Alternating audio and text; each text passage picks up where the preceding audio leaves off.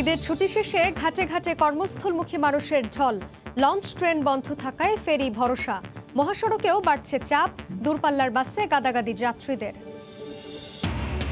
ভারত থেকে ঢাকায় আসা দুজন ভারতীয় ভ্যারিয়েন্টে আক্রান্ত কিনা জানতে নমুনা আইএডিসিআরে বিদেশ থেকে আসছে তেতাল্লিশটি অক্সিজেন জেনারেটর প্ল্যান্ট।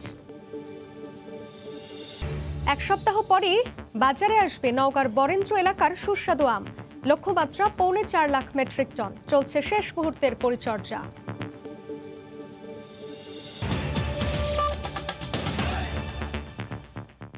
সময় সংবাদের সঙ্গে আছি আমি জান্নাতুল সাদিয়া। ঈদ শেষে কর্মস্থল ঢাকায় ফিরছেন দক্ষিণাঞ্চলবাসী। সকাল থেকে শ্রমজীবী মানুষের চাপ বাড়তে থাকে বাংলাবাজার শিমুলিয়া নৌরুটে। সড়কে গণপরিবহন বন্ধ থাকায় ভোগান্তির পাশাপাশি দুই থেকে তিন গুণ বাড়তি ভাড়া দিতে হচ্ছে বলে অভিযোগ যাত্রীদের। এদিকে ঘাট এলাকায় যাত্রীদের নিরাপত্তায় মোতায়েন রয়েছে আইন শৃঙ্খলা রক্ষা বাহিনী। মাদারীপুর থেকে সঞ্জয় কর্মকার অভিজিতের তথ্য ও শাহাদাত আকনের ছবিতে রিপোর্ট। বাংলাবাজার শিমুলিয়া নৌরুট রাজধানী ঢাকার সাথে দক্ষিণাঞ্চলের একুশ জেলার মানুষের সড়কের প্রধান যাতায়াত পথ। ঈদ শেষে সকাল থেকে বাংলাবাজার ঘাটে বেড়েছে যাত্রীদের চাপ। গণপরিবহন চলাচল না করায় বাড়তি ভাড়া দিয়েও পথে পথে ভোগান্তির পর ঘাটে এসে ফেরিতে উঠছেন যাত্রীরা। আর অতিরিক্ত যাত্রীর কারণে ফেরিতে যানবাহন ওঠার সুযোগই পাচ্ছে না। গাদাগাদি করে শিশু কিশোর সহ সবাই উঠছেন ফেরিতে উপেক্ষিত স্বাস্থ্যবিধি। শুধু রাজধানীমুখী যাত্রী চাপ নয় ঢাকা থেকেও যাত্রীরা আসছেন সমান তালে। যানজটটা আছে মোটামুটি ভালোই। কষ্ট হয়েছে আর দ্বিগুণ ভাড়া লাগছে। ঈদের সময় যায় নাই ভিড়ের জন্য। ঈদের পরে যাচ্ছি যে জ্যাম রোড থাকবে না রোড ফ্রি পাবো। এদিকে দ্বিমুখী যাত্রীদের চাপ সামলাতে অতিরিক্ত দুটি সহ বাংলাবাজার শিমুলিয়া নৌরুটে ফেরি চলছে ষোলোটি। ঘাটে যাত্রীদের নিরাপত্তায় দিন রাত চব্বিশ ঘন্টায় কাজ করছেন ফায়ার সার্ভিসের পাশাপাশি আইন শৃঙ্খলা রক্ষা বাহিনীর সদস্যরা। কোনো জায়গায় কোনো অসুবিধা হলে আমরা তাৎক্ষণিকভাবে ব্যবস্থা নিচ্ছি। আমরা স- সর্বদা প্রস্তুত আছি কোনো অপরিচিত ঘটনা যাতে না ঘটে। প্রতিদিন স্বাভাবিক সময়ে এই নৌরুট দিয়ে গড়ে তিরিশ হাজার মানুষ যাতায়াত করলেও ঈদের কারণে সংখ্যা বেড়েছে কয়েক গুণ। এদিকে যাত্রী হয়রানি বন্ধে প্রশাসনের পক্ষ থেকে একাধিক ভ্রাম্যমাণ আদালত কাজ করছে। সময় সংবাদ, মাদারীপুর। ঈদের পর কর্মজীবী মানুষের ঢাকায় ফেরার খবর জানাতে এই মুহূর্তে মুন্সীগঞ্জের শিবুলিয়া ঘাটে আছেন সহকর্মী নাসির উদ্দিন উজ্জ্বল এবং সাভারের আমিন বাজারে আছেন রিপোর্টার শুভ খান। সরাসরি যাব তাদের কাছে, শুরুতেই যাচ্ছে উজ্জ্বলের কাছে। উজ্জ্বল সাদিয়া এই রাজধানীমুখী মানুষের চাপ কিন্তু আজকে বেড়েছে এবং কর্মজীবী রাজধানীতে ফেরার জন্য নানা রকম চেষ্টা করছেন, কিন্তু আপনারা জানেন যে এই পদ্মা পাড়ি দেওয়ার জন্য কিন্তু ফেরি একমাত্র বাহন। তাই কিন্তু গাদাগাদি করে করোনা সংক্রমণ ঝুঁকির মধ্যেই লোকজন উঠছে, কিন্তু এই ফেরিটি কিন্তু মূলত যানবাহন পারাপারের জন্য। সেই কারণে কিন্তু ফেরিতে যখন হাজার হাজার মানুষ একত্রিত উঠছেন, সেখানে প্রচণ্ড রোদে কিন্তু অনেক অসুস্থ হয়ে পড়ছেন, অনেক কষ্ট হচ্ছে। ফেরি কর্তৃপক্ষ বিএডব্লিউ টিসি বলছে যে যেহেতু লোকজন উঠে পড়ছে, এই জন্য আমরা পারাপার করছি, কিন্তু ফেরি তো যানবাহন পারাপারের জন্য কিন্তু অনেক ক্ষেত্রে যানবাহন উঠতে পারছে না বা কম উঠছে। কিন্তু এই ফেরিতে করে যে লোকজনকে পারাপার করা হচ্ছে, সেজন্য কিন্তু জনপ্রতি পঁচিশ টাকা ভাড়া আদায় করা হচ্ছে।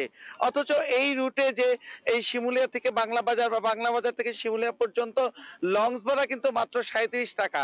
কিন্তু এই যে করোনা সংক্রমণ ঝুঁকির মধ্যে যে ঘরে ফেরা মানুষগুলো আবার কর্মস্থলে ফেরার চেষ্টা করছে কিন্তু এই মানুষগুলোকে স্বস্তিতে পার করবার জন্য কিন্তু কোনো বিহিত ব্যবস্থা এখনও হয়নি এবং বিআইডব্লিউ টিসি যে বিজ্ঞপ্তি দিয়ে বলছে যে ফেরি চলাচল স্বাভাবিক, সেই স্বাভাবিকতার মধ্যে কিন্তু চলছে, কিন্তু এই যে সংশ্লিষ্টরা বলছেন বা যারা ভুক্তভোগী যে অন্তত তাদের এই রাস্তাটুকু, এই পদ্মার যে সাড়ে দশ কিলোমিটার পথ, সেটুকু পারাপারের জন্য অন্তত জনসাধারণকে পার করা যায়, এমন কোনো বিশেষ বাহন চালু করার ব্যাপারে কিন্তু দাবি চালাচ্ছিলেন, দাবি জানাচ্ছিলেন। তো এই মুন্সিগঞ্জের শিমুলিয়া ঘাটের ছিল সর্বশেষ আমরা চলে যাচ্ছি সাভারের আমিন বাজারে সেখানে আছেন সহকর্মী শুভ।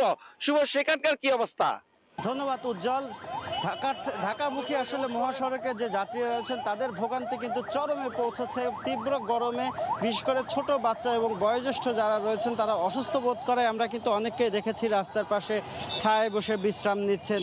তো তারা দক্ষিণাঞ্চলের যে যাত্রীরা রয়েছেন তাদের সাথে কথা বলেছি। তারা কিন্তু বলেছেন যে যেহেতু ফেরি চলাচল স্বাভাবিক রয়েছে সে কারণে তাদের ফেরিতে খুব একটা ভোগান্তিতে পড়তে হয়নি। স্বাভাবিকভাবেই তারা ফেরি পার হতে পেরেছেন। তবে আহ, পাট- থেকে পাটুরিয়া আসার পরেই তাদের মূলত ভোগান্তিটা শুরু হয়েছে। তারা কিন্তু বলছেন যে যেহেতু গণপরিবহন আসলে সেইভাবে পাওয়া যায়নি, সে কারণে তারা ভেঙে ভেঙে ঢাকার উদ্দেশ্যে রওনা দিয়েছেন। সুতরাং ছোট বাস কিংবা লেগুনা কিংবা ব্যক্তিগত গাড়িতে করে বাড়তি ভাড়া দিয়ে গাদাগাদি করে কিন্তু তারা ঢাকায় আসছেন এবং এই গরমের মধ্যে কিন্তু সেই ভোগান্তি আরও চরমে পৌঁছেছে এবং তারা বলছেন যে যেহেতু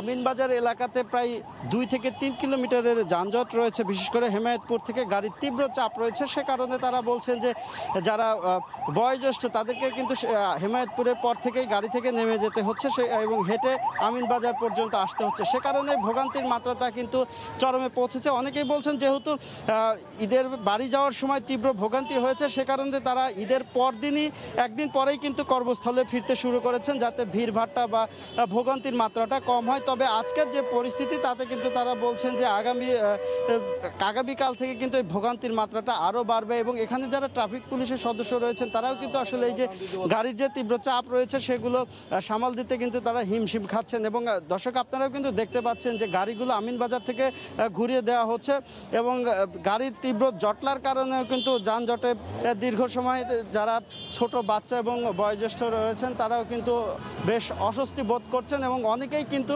ক্ষোভ প্রকাশ করছেন। তো সাদিয়া রাজধানীর আমিনবাজার এলাকা থেকে এই ছিল আমার কাছে সবশেষ।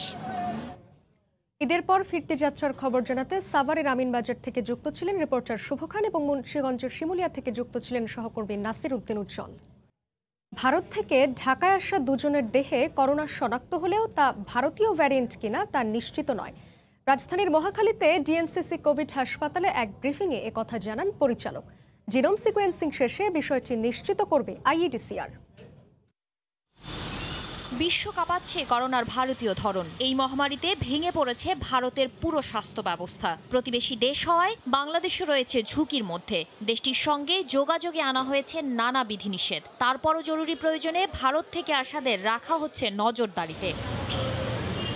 রাজধানীর মহাখালীতে ডিএনসিসি কোভিড হাসপাতালে ভারতীয় ভ্যারিয়েন্ট সন্দেহে করোনা আক্রান্ত দুজন রোগীর নমুনা আইডিসিআরে পাঠানো হয়েছে। হাসপাতালটির পরিচালক জানান, গত মাসের তেইশ তারিখে তারা ভারত থেকে এসেছেন। আসার পরে ওনাদের মনে হয় আট দশ দিন পরে জ্বর শুরু হয়েছে এবং আমাদের এখানে যখন আসছে তখন প্রায় সাত আট দিন জ্বর ছিল। যেহেতু অক্সিজেন লাগছে না, আপনারা বুঝতেই পারছেন, আমরা মানে তাকে কোনো অক্সিজেনই দিচ্ছি না। তার মানে উনি কিন্তু যথেষ্ট স্ট্যাবল তাই না? যদি কন্ডিশন ডিটোরেট করে আমরা তো অন্য পেশেন্টের মতো এখানে ম্যানেজ করবোই। এ দুজনের অবস্থা স্থিতিশীল হলেও রোগীর ভারত ভ্রমণের ইতিহাস বিবেচনা করে তাদের আলাদা করে রাখা হয়েছে। ওনাদেরকে আমরা একটু আলাদা করে রেখেছি। এটি যাতে বাট তাদের কেয়ারে যেন কোনো সমস্যা না হয় সেটি আমরা নিশ্চিত করছি। আর পেশেন্টরা কম্পারেটিভলি স্টেবল আছে এবং তারা মোটামুটি ভালো আছে কারণ তারা কিন্তু এখনও আমাদের তাদের কোনো অক্সিজেন বা ওরকম কিছু এখন আমরা স্টার্ট করি নাই। আর এই সিকোয়েন্সিং করার জন্য বেশ কিছুদিন সময়ও লাগে সেটা নিশ্চয়ই আপনারা জানেন। তো সেটি ওনারা জানতে পারলে অবশ্যই ওনারাই জানাবেন। ঈদ পরবর্তীতে করোনা আক্রান্তের সংখ্যা আরও বাড়ার শঙ্কা জানিয়ে হাসপাতালের পরিচালক জানান বিশেষ ধরনের করোনার জন্য আলাদা ইউনিট প্রস্তুত করা হয়েছে। তাদের জন্য ইনিশিয়ালি একটা অ্যারেঞ্জমেন্ট রাখা হয়েছে বক্ষবিধি হাসপাতালে। শাতিলা শারমিন সময় সংবাদ ঢাকা। আর এক সপ্তাহ পরে নৌকার বরেন্দ্র এলাকার বাগান থেকে নামানো হবে সুস্বাদু আম। তাই শেষ সময়ে বাগানগুলোতে চলছে নিবিড় পরিচর্যা। এবার আবহাওয়া অনুকূলে থাকায় প্রায় পৌনে চার লাখ মেট্রিক টন আম পাওয়ার আশা কৃষি বিভাগের। নওগাঁ থেকে এম আর রকির রিপোর্ট। বিস্তৃত সবুজ বাগানে যতদূর চোখ যায় আম আর আম। ছোট ছোট গাছে আমের ভারে নুইয়ে পড়া, ডালপালায় যেন দুলছে কৃষকের স্বপ্ন। জানুয়ারিতে তীব্র শীত থাকায় এবার দেরিতে মুকুল আসে। তবে শেষ সময়ে আবহাওয়া অনুকূলে ছিল বলেই এবার আমের ফলন ও আকৃতি বেশ ভালো। চলতি মাসের বিশ থেকে গুটি এবং সাতাশ তারিখ থেকে গোপালভোগ আম বাণিজ্যিকভাবে বাজারজাত করার ঘোষণা দিয়েছে নওগাঁ জেলা প্রশাসন। তাই শেষ সময়ে আমের পরিচর্যা করতে ব্যস্ত বাগানিরা। গতবারকার চাইতে এবার বজ্রবৃষ্টি বা আবহাওয়া তাপমাত্রা আল্লাহর রহমতে খুবই ভালো, এবার দ্বিগুণ আম হয়েছে। তোমরা আমরা আশা করছি যে এবার ছয় থেকে সাত লক্ষ টাকা মানে আশা করছি। গত বছর যে আমটা ছিল তার চাইতে এবছর আমটা একটু উন্নত মানেরও হয়েছে এবং ভালো হয়েছে। যদি টিকায় রাখতে পারি ইনশাআল্লাহ আমরা গাছ থেকে লাভবান হব। যে বাগানে পুলিশ মোতায়েন করবে তো জেনে এভাবে নষ্ট না হয় কেমিক্যাল জেনে না দেয়। কৃষি বিভাগও আশা করছে গেল বারের চেয়ে এবার বেশি আম পাওয়ার। আমাদের পঁচিশ হাজার আটশো পঞ্চাশ হেক্টর জমিতে প্রায় তিন লক্ষ সত্তর পঁচাত্তর হাজার মেট্রিক টন আম আমরা সংগ্রহ করতে পারব। বরেন্দ্র এলাকায় অন্তত বাইশ জাতের সুস্বাদু আমের বাগান রয়েছে। এর মধ্যে ল্যাংরা গোপালভোগ ও খিরসাপাত আম মে মাসের শেষ সপ্তাহ থেকে নামানো হবে। এমআর রকি সময় সংবাদ নওগাঁ। পরিবারের সঙ্গে ঈদ কাটিয়ে সাগরে মাছ শিকারে যাচ্ছেন কক্সবাজার উপকূলের জেলেরা। তবে ছোট ট্রলারগুলো মাছ শিকারে গেলেও বড় ট্রলারগুলো সাগরে যায়নি। জেলেরা বলছেন, আবার বিশ মে থেকে সাগরে পঁয়ষট্টি দিন মাছ শিকার বন্ধ। তাই বড় ট্রলারগুলো উপকূলেই নগর করা হয়েছে। এদিকে নিষেধাজ্ঞার আগে জেলেদের সরকারি খাদ্য সহায়তার আওতায় আনার দাবি ফিশিং বোট মালিক সমিতির। আরও জানাচ্ছেন সুজাউদ্দিন রুবেল। কক্সবাজারের বাঘখালী নদীর উপকূলবর্তী মোহনা। নোঙর করা আছে শত শত মাছ ধরার টলার। পরিবারের সঙ্গে ঈদ উদযাপন করে অনেক জেলে ফিরেছেন টলারে। ছোট টলারের অনেক জেলে মাছ শিকারে রওনা হচ্ছেন সাগরে। জেলেরা বলছেন, নিষেধাজ্ঞার আগে শেষবারের মতো সাগরে মাছ শিকারে যাচ্ছেন তারা। আগে আমরা দুই, তিন দিন যাইতেছি, গিয়ে চাইতেছি যে মাছ টাছ পাইনি। যদি পাই তাহলে আমরা কিছুদিন চলতে খেলতে পারব। চার দিনের জন্য পাঠাচ্ছি ইনশাল্লাহ আশা করতেছি মাছ পাবে।